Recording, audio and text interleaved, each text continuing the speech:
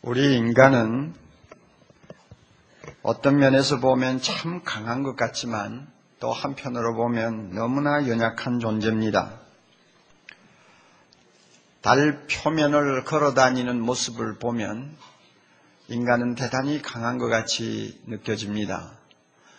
수백만 수억 개의 정보를 작은 칩 속에다가 저장한 것을 보면 인간만큼 위대한 존재가 없는 것 같습니다.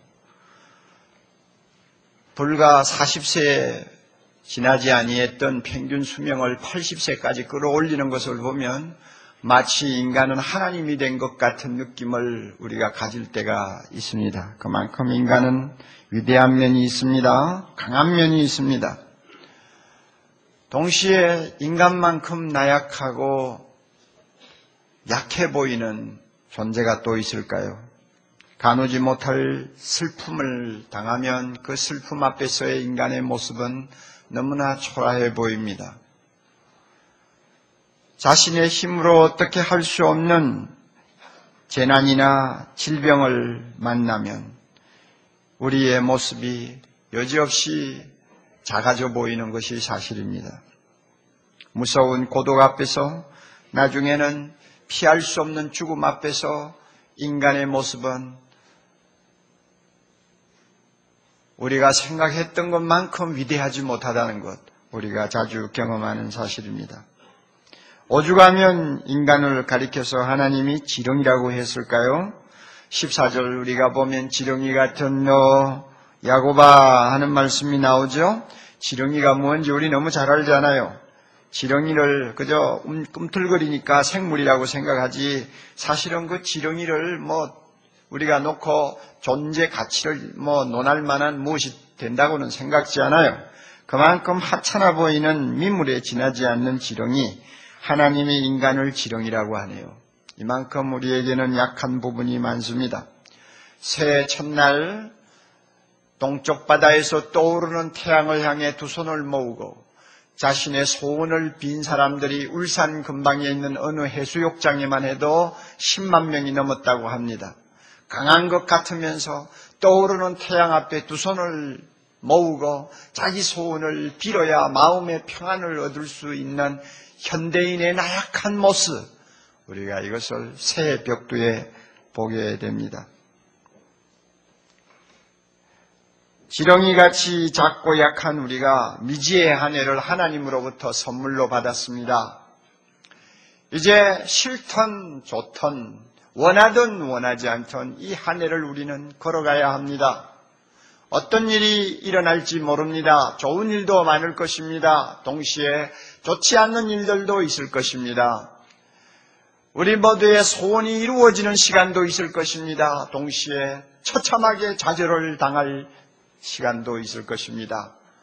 어떤 내일이 기다릴지 잘 모르지만 우리는 이 길을 가야 합니다. 하나님이 가라고 우리에게 명령하셨어요. 이 한 해를 앞에 놓고 지렁이 같은 작고 보잘것없는 나 자신을 돌아봅니다. 과연 잘 걸어갈 수 있을까? 한 해를 바로 살 수 있을까? 승리할 수 있을까? 이런 생각을 주고 받을 때 마음속에 떠오르는 하나님의 말씀이 각자마다 있을 것입니다. 여러분은 어떤 말씀을 주로 많이 기억하고 그 말씀을 펴서 봅니까? 저는 이사야 41장 10절을 이런 경우에는 자주 생각합니다. 그리고 자주 마음에 담고 묵상을 합니다. 두려워 말라 내가 너와 함께 함이니라. 놀라지 말라 너는 나는 내 하나님이 됨이니라. 내가 너를 굳세게 하리라. 참으로 너를 도와주리라. 참으로 나의 의로운 오른손으로 너를 붙들리라. 아, 이 말씀을 펴놓고 읽으며 마음에 묵상하면 비록 미지의 한 해가 내 앞에 기다리는 불안이 있어도 두려움이 있어도 새 힘을 얻는 것입니다. 용기를 얻는 것입니다. 벌떡 일어날 수 있는 힘을 얻는 것이, 얻는 것입니다. 여러분도 아마 이와 같은 경험을 하셨을 거예요. 본문의 말씀은 1차적으로 유대인 들에게 하시는 말씀입니다. 하나님이 유대인에게 주신 위대한 예언의 말씀이에요. 유대 백성들은 불행하게도 하나님을 섬기면서 우상숭배에 빠졌습니다.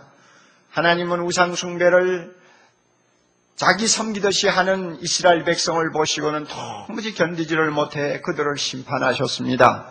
그리고 결국 바벨론에 정복되어 그 나라는 황무지가 되고 백성들은 바벨론 포로로 끌려가서 70년 동안 피눈물 나는 고생을 하게 만들으셨습니다. 그런데 이사야가 이 예언을 지금 이 말씀을 할 때는 이 사건이 일어나지를 않았어요. 이 사건이 일어나기 100년 가까이 이전입니다. 그러므로 예언이죠. 아직 눈앞에 벌어진 사건이 아니에요. 100년, 150년 후에 일어날 일이에요. 그런데 하나님께서 이사야의 입을 통해서 이스라엘 백성이 어떤 형편에 처할 것인가를 미리 이야기합니다. 바벨론의 포로가 된다는 것입니다. 포로 생활을 한다는 것입니다. 그렇지만 나중에 70년의 포로 생활을 마치게 되면 고레스라고 하는 위대한 왕이 일어나서 이스라엘을 포로로 잡아오고 예루살렘 성을 파괴한 바벨론 왕을 징벌하고 정복하고 페르시아 나라를 건설해서 이스라엘 백성들을 다시 고국으로 돌려보낸다고 예언을 합니다. 여러분 잠깐 뒷면으로 넘어가 보실까요? 이사야 44장 28절 한번 보세요.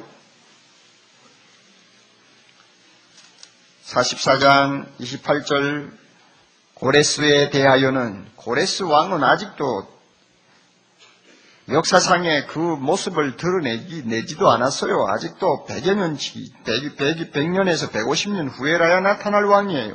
그럼에도 불구하고 고레스에 대하여는 이르기를 그는 나의 목자라 하나님이 예언하셨어요. 나의 모든 기쁨을 성취하리라.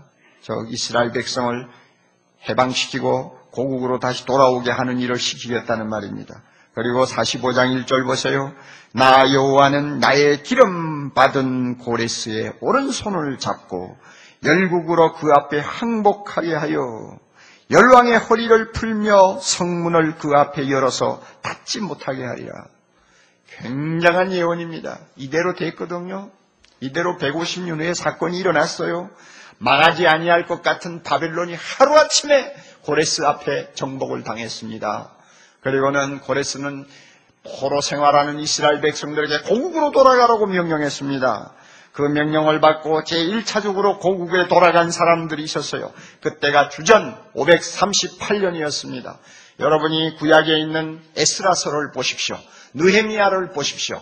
그 내용들은 전부 다 주전 538년경에 포로 생활하던 이스라엘 백성들이 고레스의 특명을 받아 고국으로 돌아와서 성전을 건축하고 이스라엘 어, 예루살렘에 무너진 성을 개축하는 기가 막힌 사건들이 기록되어 있습니다.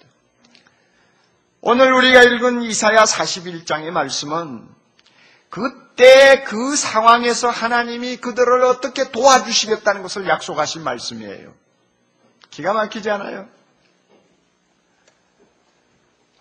포로가 되어 힘이 없다고 두려워하지 말라 나는 내가 너와 함께 함이니라 놀라지 말라 나는 네 하나님이 됨이니라 내가 너를 굳세게 하리라 내가 참으로 너를 도와주리라. 나의 의로운 오른손으로 너를 붙들리라. 그러므로 너희들은 조금도 움츠러들지 말고 나의 도움을 받고 고국으로 돌아오는 거룩한 백성이 되라는 이야기예요. 얼마나 기가 막힌 말씀이에요. 이 말씀대로 그대로 예언이 성취됐어요. 그러면 이 말씀이 오늘날 우리와 어떤 관계가 있느냐 하는 내용을 생각하지 아니할 수가 없습니다. 과연 이스라엘 백성들에게 주신 이 말씀이 나를 위해 주신 말씀이라고 할 수 있느냐 하는 것입니다. 이 점에 대해서는 우리가 의심하면 안 됩니다. 그들에게 주신 하나님의 말씀, 오늘 나에게도 주시는 말씀입니다. 몇 가지 이유가 있어요. 여러분, 8절 이하에 보면 하나님이 그 이스라엘 백성을 일컬어서 나의 종이라고 그래요. 그리고 아브라함의 자손이라고 그래요. 그리고 나의 택한 백성이라고 그럽니다. 하나님의 종이에요. 하나님의 택한 백성이에요. 그리고 아브라함의 자손이라고 그래요. 이런 말씀은요, 신약 성경에 가서 보면 전부 다 우리에게 하는 말씀이에요. 맞아요, 맞아요. 우리는 믿음의 조상되는 아브라함의 자손입니까? 아닙니까? 아브라함의 자손이죠. 우리는 예수 그리스도의 종입니까? 아닙니까? 대답하세요. 가만히 계시지 말고. 종이에요? 아니에요? 종이지요. 우리는 만세 전부터 하나님이 택했습니까? 안 택했습니까? 우리는 택함을 받은 하나님의 백성입니다. 똑같아요. 그러니까 이스라엘 백성이 하신 말씀 바로 나에게 하시는 말씀이에요. 뿐만 아니라 이스라엘 백성들은 바벨론에서 포로 생활을 하게 되어 있죠. 바벨론은 이 세상을 상징하는 도성입니다. 그래서 요한계시록에 보면 하나님이 세상을 심판하실 때 바벨론을 심판하신다고 하셨고 세상이 멸망할 때 바벨론이 함락되었다고 말합니다. 그러므로 우리도 바빌론과 같은 세상에서 정말로 어떤 면에서는 노예 생활하는 것이에요. 얼마나 어려운 일을 많이 당하면서 하루하루를 삽니까? 그러므로 바벨론 포로 생활하는 이스라엘 백성에게 주신 이 희망의 말씀은 오늘 이 세상 바벨론에 살고 있는 우리에게 주시는 말씀 그대로란 말이에요. 그리고 이 말씀을 우리 하나님께서 나에게 주신 말씀으로 받는 이유가 또 있어요. 예수님이 세상에 오셔서 우리에게 하나님이 우리와 함께 계심을 증거해 보이시고 마지막으로 이 세상 떠나시면서 주신 위대한 약속이 있습니다. 볼지어다 내가 세상 끝날까지 항상 너희와 함께 있으리라. 항상 너희와 함께 있으리라. 이 약속을 주님이 주고 가셨는데 이 약속과 이사야가 이스라엘 백성에게 하신 이 약속이 뭐가 다릅니까? 두려워 말라 내가 너와 함께 함이니라는 말씀하고 벌지어다 내가 항상 이 세상 끝날까지 너희와 함께 있으마 하는 약속하고 뭐가 달라요? 똑같아요. 그러므로 이 말씀은 바로 우리 모두를 위한 말씀이라는 것을 그대로 받으시기를 바랍니다. 그럴 때 이 말씀이 오늘 우리 모두에게 은혜가 됩니다.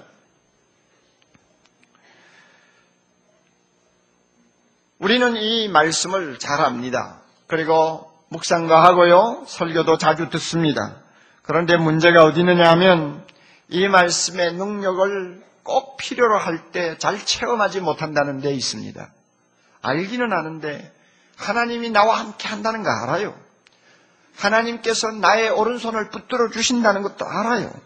그럼에도 진짜 하나님의 강하신 팔이 나를 붙들어 주셔야 될 순간에는 이 말씀이 나에게 실제로 능력을 나타내는 경우를 자주 보지 못한다는 말입니다.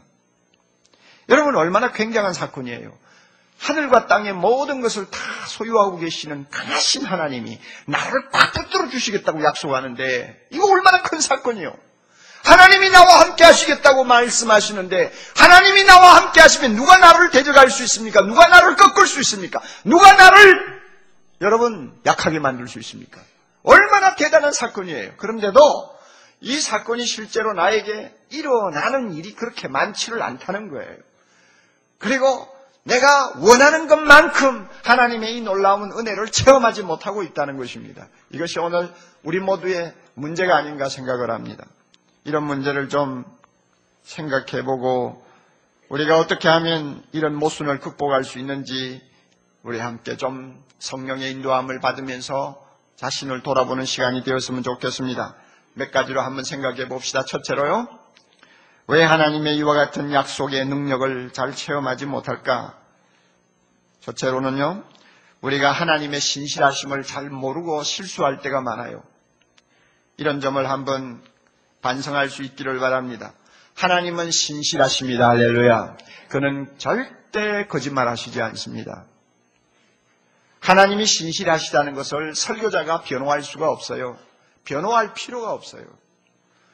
설교자가 하나님이 신실하다는 것을 잘 변호한다고 해서 하나님이 갑자기 신실해지는 것도 아니고 설교자가 변호하지 못한다고 해서 하나님이 금방 거짓말쟁이가 되는 것도 아닙니다. 설교자는 하나님의 신실을 변호할 수가 없을 뿐 아니라 하나님 자신도 자기의 신실함을 위해서 설교자를 필요로 하지 않습니다. 하나님은 항상 신실하십니다. 변함이 없이 신실하십니다. 그러므로 거짓말 하시지 않습니다. 그가 한 번 말씀하시면 그 말씀은 반드시 성취되고 맙니다. 사무엘상 15장 29절 말씀입니다. 이스라엘의 지존자 하나님은 거짓이나 병개함이 없으시니 거짓이나 병개함이 없으시니 그는 사람이 아니시므로 결코 병개치 아니하심이니이다. 하나님은 사람이 아닙니다. 거짓말하지 않습니다. 절대 마음이 이랬다 저랬다 하시는 분이 아니에요. 그러므로 그가 말씀하셨으면 그것은 바로 진리입니다. 데살로니가 전서 5장 24절 너희를 부르시는 이는 너희를 부르시는 이는 미쁘시니 그가 또한 이루시리라. 미쁘시다는 말이 무슨 뜻이에요? 신실하시다는 말씀입니다. 하나님은 신실하십니다. 그러므로 반드시 이루십니다. 우리가 이 사실을 어떤 때는 잘 모르든지 깜빡할 때가 많이 있어요. 하나님이 얼마나 신실하신가를 아브라함을 보면 우리는 금방 알지 않습니까? 하나님이 아브라함을 불러가지고 너 고향 떠나라. 내가 내 말대로 고향 떠나서 내가 지시하시는, 지시하는 땅으로 가면 내가 너에게 복을 주겠다. 너의 후손이 하늘의 별과 같이 많아지도록 하겠다. 그리고 너희는 온 세상 민족이 복을 받는 복의 근원이 되게 하겠다. 약속했어요. 아브라함이 그 말씀을 믿고 하나님을 따라갔습니다. 그런데 그가 하나님을 따라갈 때 75세였어요. 75세에 하나님 따라갔는데 여러분 놀라지 마세요. 25년 동안 자식 하나 주지 않았어요. 혈육 한 점 주지 않았어요. 내 후손이 하늘의 별과 같이 많겠다고 약속을 해놓고도 25년 동안 100살이 될 때까지 혈육 하나 주지 않았어요. 그런 하나님을 누가 믿어요? 그런 하나님이 신실하다고 우리가 말할 수 있겠어요? 그러나 놀라운 일, 하나님은 신실합니다.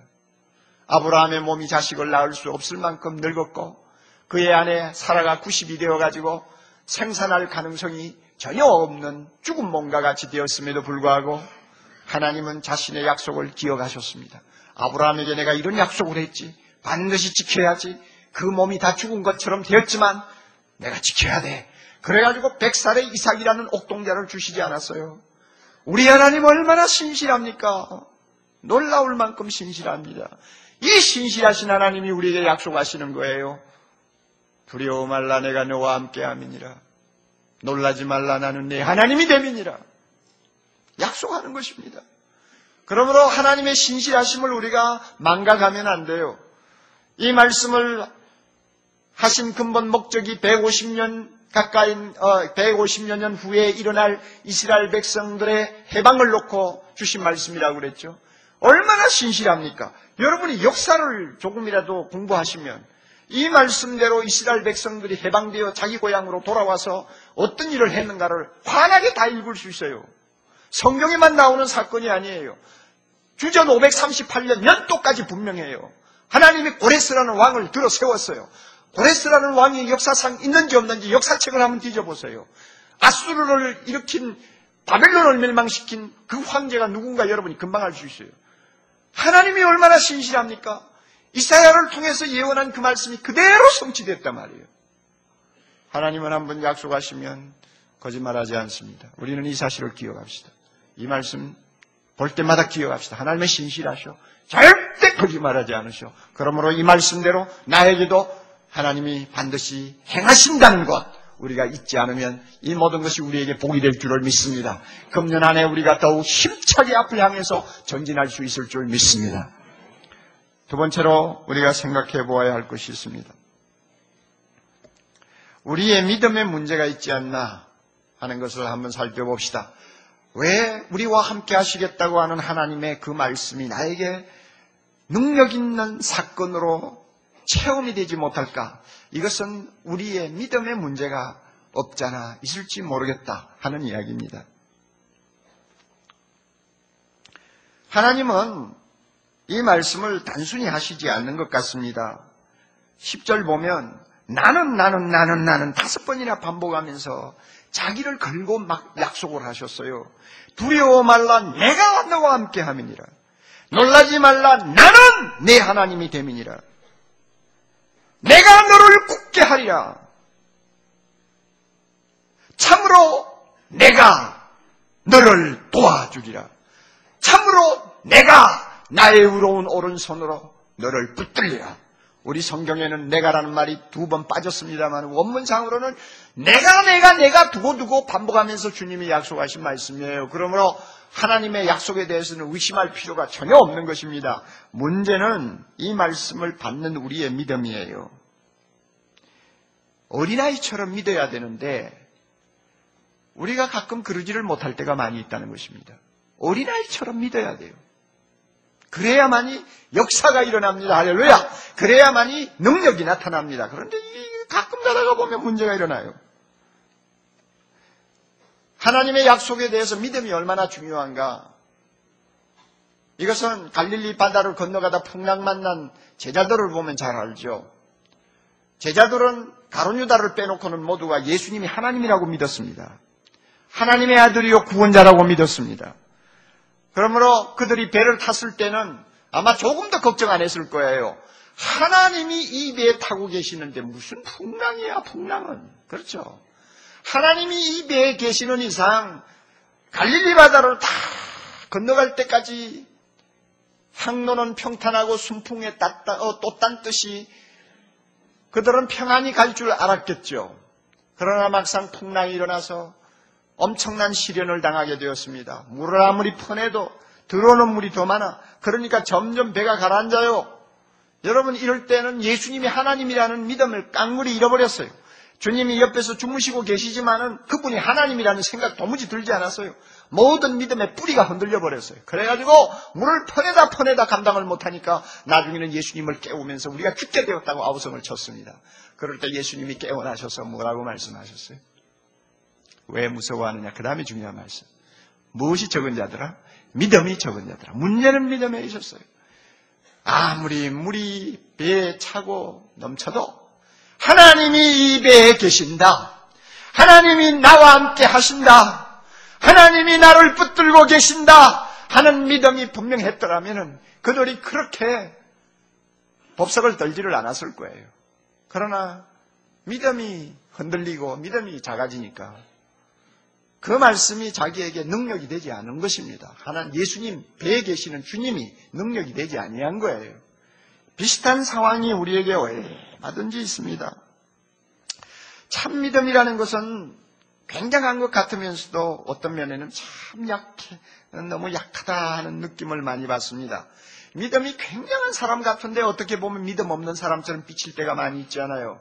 여러분, 옥목사가 이 강단에서 이렇게 소리소리 지르면서 아, 믿음이 중요하다고 하니까 이 자리에서 내만큼 믿음 좋은 사람 어디 있어요? 한번 이야기해 보세요. 내보다 더 믿음 좋은 사람 한번 나와봐요. 어디 있어요? 없잖아요. 그러니까 나는 목사 됐잖아요. 여러분은 평신도고요. 굉장한 믿음을 가진 사람처럼 보이는데 사실 어떤 상황에서는 하나님의 말씀이 믿어지지 아니하는 혼란에 빠질 때가 있어요. 참 믿음이라는 거 어떤 면에는 믿을 것이 못 되는 것이 아닌가 할 정도로 위기를 당할 때가 있어요. 여러분은 어떻습니까?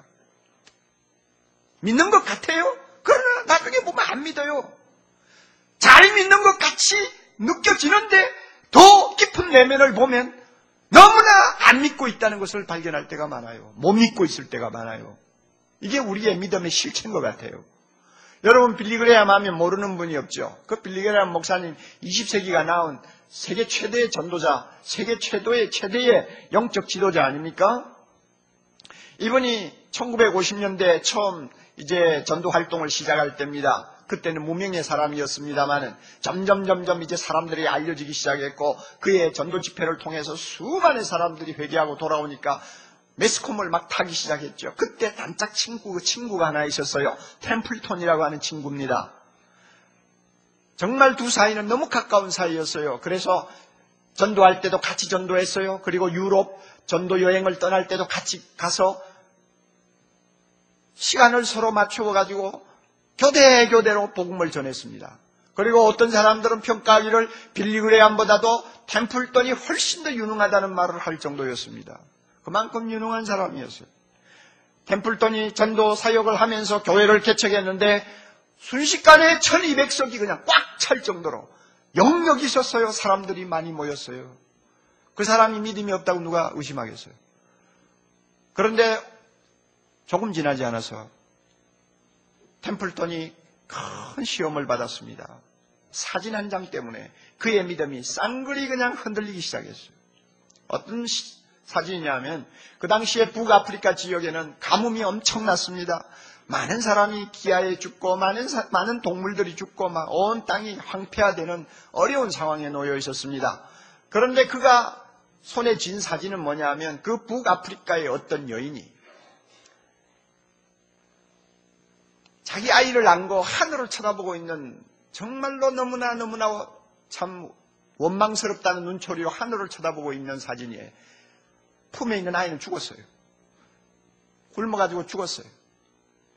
그 사진을 보았어요. 보고는 갑자기 의심이 들었습니다. 천지 만물을 창조하신 하나님이 저렇게 비가 필요한 사람들에게 비 한 방울 주지 아니하면서 과연 하나님? 하나님은 인자와 자비가 풍성하다고 하시는데 그 인자와 자비가 풍성한 하나님이 죽은 아이를 저렇게 무릎에 앉히고 원망스럽게 하늘을 쳐다보는 저 여인을, 여인을 그대로 두어? 이거는 도대체 믿을 수가 없는 이야기야. 그리고는 그의 마음이 돌아서기 시작했습니다. 조금 후에 그는 하나님도 버렸습니다. 예수님도 버렸습니다. 빌리그레암은 오직 예수, 오직 예수하고 자기 길을 갔습니다마는 템플턴은 오직 예수가 이제는 끝나고 자기 갈 길을 갔어요. 불가지론자가 되어버렸습니다. 도대체 하나님이 계시는지 안 계시는지 모르겠다. 모르는 하나님을 내가 어떻게 믿어? 하고는 자기 갈 길 갔어요. 지금도 카나다에 살고 있어요. 80대 노인으로 살고 있어요. 믿음이라는 게 그런 거예요. 잘못하면 그렇게 돼요. 우리가 절박한 상황에서 내가 너를 도와주리라 하는 하나님의 말씀을 열 번, 스무 번을 읽어도 아무런 사건이 일어나지 아니할 때, 아무런 하나님의 응답이 없을 때 우리 믿음이 흔들리지 않는다고 누가 보장해요?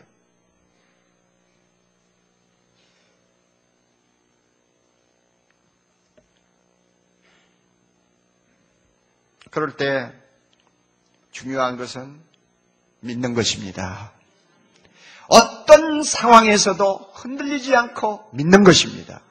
이것이 하나님의 말씀이 기적을 일으키게 하는 원동력이 됩니다. 믿어야 됩니다. 어떤 상황에서도 믿어야 됩니다.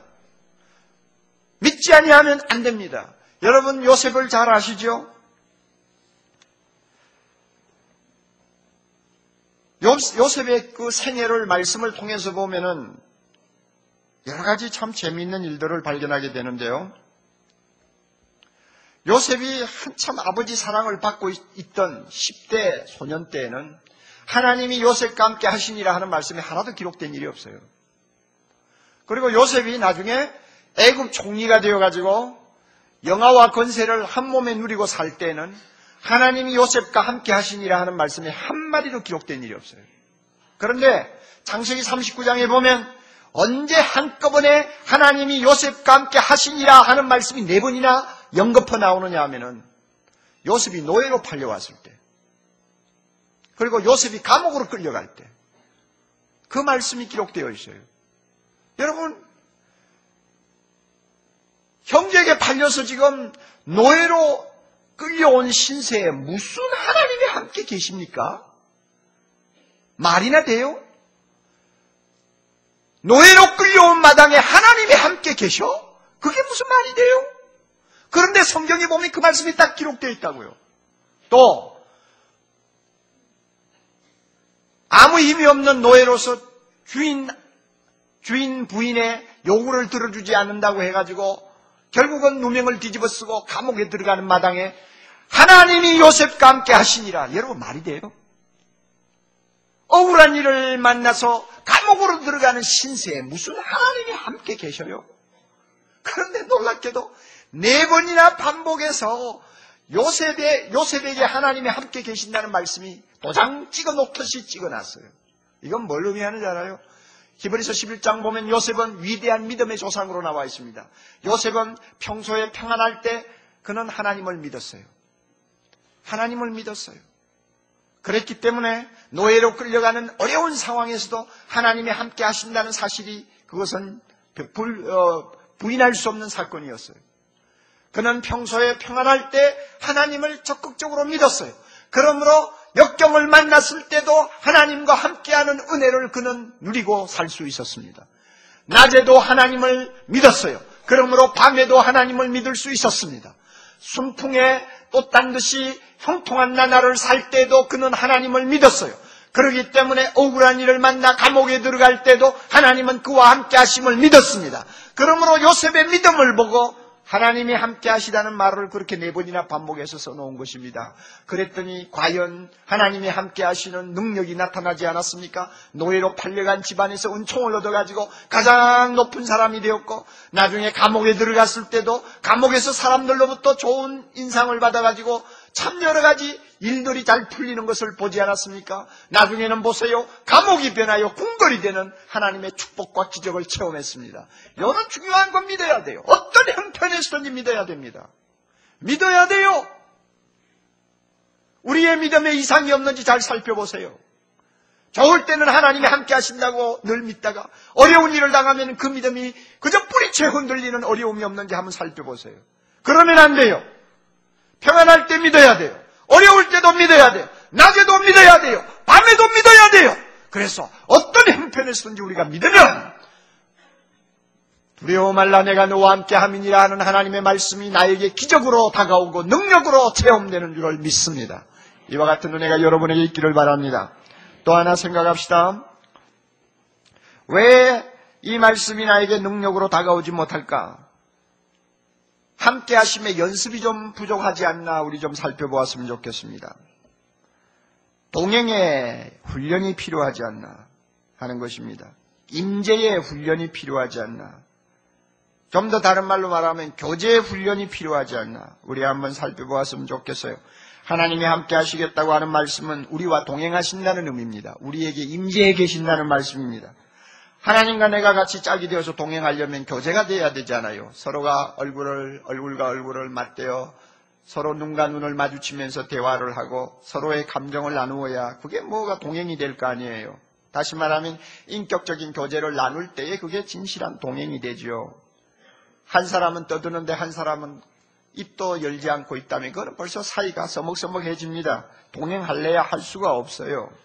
하나님의 파트너십으로 우리가 재구실을 바로 할 때에 하나님이 함께 하신다는 그 말씀이 나에게 능력 있는 사건으로 다가오고 체험되는 것입니다. 그런데 이 동행하는 연습은 평소에 잘해두어야 돼요. 여러분, 동행하는 연습을 한다는 말이 무슨 뜻이에요? 성경에 있는 말씀 그대로 무시로 성령 안에서 기도하고 기도를 꾸준히 하는 거예요. 하나님 안 보이잖아요. 안 보이는 하나님과 동행한다는 말은 그 쉬운 말이 아니에요. 눈으로 확인할 수 있는 사람하고 손잡고 동행한다면 누구나 다 쉽게 말할 수 있지만 보이지 않는 하나님과 동행한다. 그 말이 쉬운 말이 아니에요. 우리는 그냥 버릇처럼 말을 많이 합니다만 쉽지 않아요.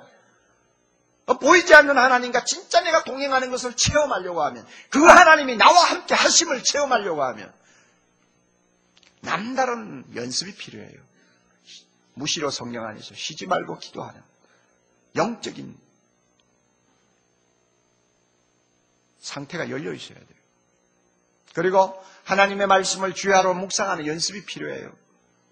말씀을 묵상하면서 기도하고, 기도하면서 말씀 묵상하고, 이런 연습이 제대로 될 때에 이잘 이게 하나님이 하나님이 나와 함께 하신다는 그 말씀이 실제로 나에게 능력으로 다가오는 것입니다. 여러분 어느 분야에서나 연습이라는 게 얼마나 중요합니까? 연습 얼마나 중요해요. 아서 루빈스타인의 여러분 말을 기억합니까? 그 천재적인 피아니스트였습니다. 그가 한 말 유명한 말이 있어요. 내가 하루 연습을 안 하면 내가 알고 내가 벌써 피아노 쳐보면 안다 그 말이에요. 내가 이틀 연습하지 아니하면 나의 비평가들이 알고 내가 사월을 게을러서 연습 안 하면 청중들이 안다고 그랬어요. 옳은 말이에요. 그는 천재예요. 그러므로 뭐 연습 안 해도 얼마든지 칠 수 있는 사람이에요. 그러나 하루 연습 안 해? 그러면 제 양심으로 아이고 이거 연습이 부족하구나. 금방 안다 그거요. 이틀 연습 안 해? 비평가들이 벌써 눈치챈단 말이에요. 사흘 연습 안 해? 듣는 청중들이 아무리 기교를 부리고 연주를 해도 아 뭔가 연주가 좀 좋지 않다 하는 것을 느낀다는 말입니다. 얼마나 대단해요. 하물며 이와 같은 예술 세계에서도 연습이 부족하면은 통하지를 않는데 보이지 않는 하나님과 동행하고 나와 함께 하신다고 약속하신 하나님으로부터 뭔가 얻어내려고 하는 사람들이 평소에 그와 함께 깊이 동행하는 연습을 제대로 안 하고 살면서 어떻게 능력을 체험할 수 있습니까? 급할 때 그냥 소방수가 소방수 찾듯이 하나님 찾는 그런 사람이 어떻게 하나님의 함께 하심의 그 능력과 깊이와 오묘를 맛볼 수 있습니까? 연습이 필요해요. 여러분 어떻습니까? 예? 어떤 사람이 이런 말을 했습니다. 하나님의 임재 연습, 하나님의 동행 연습을 몇 달 또는 몇 년 동안 지속한 사람은 하나님께서 더 가까이 계심을 느끼게 됩니다. 등 뒤에서 밀어주는 하나님의 힘은 더 강하고 견고함을 느끼게 됩니다. 앞에서 당기는 힘도 더욱 강력해집니다. 하나님께서는 우리 곁에 계실 뿐 아니라 언제나 우리와 함께 살아계심을 체험하게 됩니다. 할렐루야! 여러분, 하나님과 동행하는 훈련을 열심히 하십시오. 하나님을 원망하지 말고 내가 얼마만큼 하나님과 동행하기 위해서 하나님을 꼭 붙들려고 노력하는가. 여러분 자신이 자신을 돌아보면서 노력하시라고 말입니다. 그렇게 하면 놀라운 기적이 일어납니다. 이 하나님의 말씀 두려워 말라 내가 너와 함께 함이니라 하는 말씀이 얼마나 실제적으로 나에게 역사하는가를 체험하게 됩니다. 오늘 우리가 함께 생각한 말씀을 마음에 잘 담으시기를 바랍니다. 하나님은 진실하십니다. 아멘. 우리에게 믿음의 문제가 없는지 한번 살펴보시기를 바랍니다. 진실하신 하나님 약속을 분명히 하신 하나님입니다. 두려워 말라 내가 너와 함께 함이니라 놀라지 말라 나는 내 하나님이 됨이니라. 내가 너를 굳세게 하리라 참으로 내가 너를 도와주리라 참으로 내가 나의 의로운 오른손으로 너를 붙들리라. 전능하신 하나님, 진실하신 하나님, 성실하신 하나님이 나에게 그렇게 약속했는데 그 말씀이 나에게 실제로 능력이 되지 못하는 원인이 어디 있느냐? 나의 믿음을 점검하시기를 바랍니다.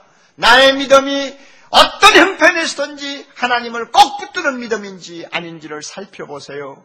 뿐만 아니라 하나님과 동행하는 연습을 내가 얼마만큼 열심히 날마다 빠뜨리지 아니하고 제대로 하고 있는지 살펴보시기를 바랍니다. 평소에 건강할 때, 평소에 형통할 때 하나님과 동행하는 연습을 열심히 하지 아니하는데 내가 어려움 당할 때, 내가 고통할 때, 내가 실패할 때, 내가 건강을 잃을 때 어떻게 하나님이 나와 함께 하심을 체험할 수 있어요? 그렇지 않아요? 우리 자신을 한번 돌아보라고 말이에요. 10년을 승리하는 자로서 살기를 원하면 하나님의 능력을 체험하는 풍성한 삶을 살기를 원하면 하나님의 능력이 나를 통해 나타나는 것을 모든 사람에게 보여주기를 원하면 여러분 24시간 하루하루마다 하나님과 동행하는 연습을 하시기를 바랍니다. 그래서 여러분의 기도가 능력으로 폭발하고 여러분의 마음속에 있는 말씀이 하나님의 능력으로 불꽃이 튈 때 하나님이 나와 함께 하심을 우리는 체험하게 되는 것입니다. 여러분 금년이 두렵습니까? 금년 한 해가 불안합니까? 아니면은 여러분 몸이 아픕니까? 아니면 여러분 심히 고독합니까? 남이 풀, 남, 남에게 호소할 수 없는 어려운 문제를 안고 실험합니까? 어떤 형편이라도 좋아요. 하나님은 약속하셨습니다. 나와 함께 하신다고 약속하셨습니다. 그러므로 약속을 통해서 우리의 문제를 해결받고 이 안에 동안 하나님께 영광 돌리는 거룩한 하나님의 백성 될 수 있기를 바랍니다. 반드시 그와 같은 은혜 주실 줄 믿습니다. 우리 기도하십시다.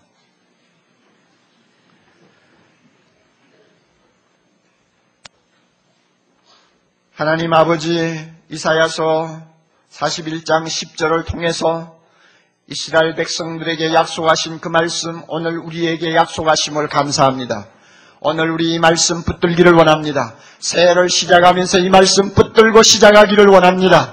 이 말씀을 통하여 주님 하나님이 우리와 함께 하심의 능력을 체험하기를 원합니다. 주여 어떤 형편에서든지 우리의 믿음이 흔들리지 않게 해주시기를 바랍니다. 날마다 날마다 하나님과 동행하는 연습을 통해서 하나님이 나와 함께 하심을 체험하는 거룩한 백성 되게 해 주시기를 원합니다. 그리하여 금년 안에 우리의 소원을 이루어 하나님께 영광 돌리게 하시고 어떤 형편에 좋아하든지 승리하는 자들 되게 하시고 안 믿는 사람들에게 하나님 살아계심을 증거하는 거룩한 주의 백성들 되게 해 주시옵소서. 예수님 이름으로 기도드리옵나이다. 아멘.